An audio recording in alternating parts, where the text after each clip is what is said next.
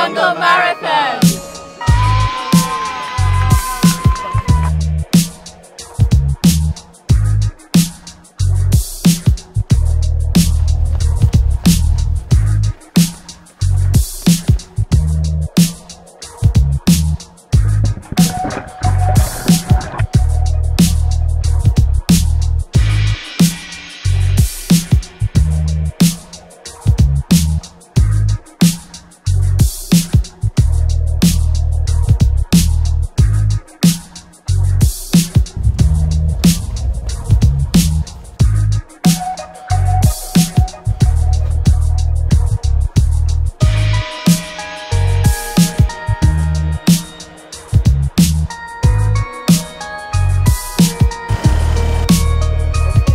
And when they're that far apart, you, you tend to think that it's a big-headed snake, which would have a much bigger body, And you right? would see it. And you would You would see, you would see it.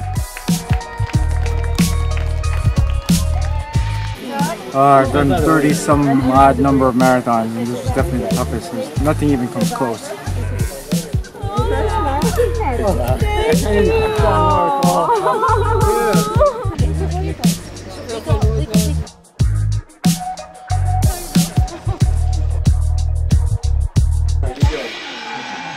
home.